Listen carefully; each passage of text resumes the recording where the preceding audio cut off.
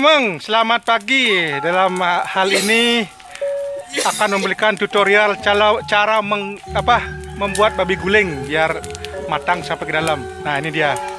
Lihat, uh, di bawahnya tidak ada bara sama sekali.